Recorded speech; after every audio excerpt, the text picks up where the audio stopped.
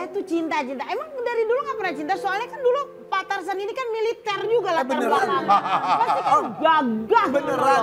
Militer mendapatkan pangkat. Bukan, bukan.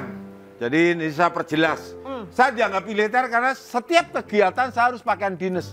Ya, ya. Jadi waktu di Surabaya, garnisun minta saya pakaian dinas. Teman saya lawan main itu Bambang Gendolan pakaian loreng, saya ngasih tahu penerangan untuk ABRI bukan TNI dulu ya. Ah. Pokoknya pakaian loreng itu adalah organik militer nggak bisa digunakan orang sipil. Sembarang. Itu.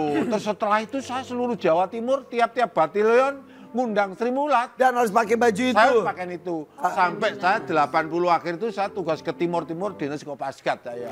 Hah? Kemarin terakhir dia diangkat naik jab, naik pangkat. Letnan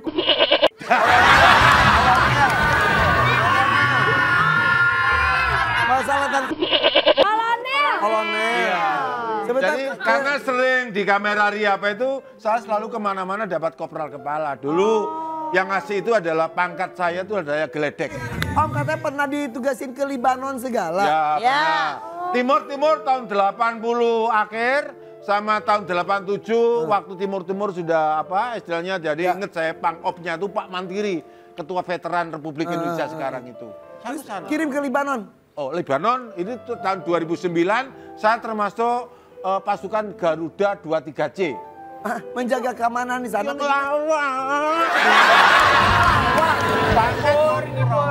Oh supaya tentara-tentara Indonesia yang bertugas di sana Iya. kan memang eh, Ya kan stres. Iya. Iya.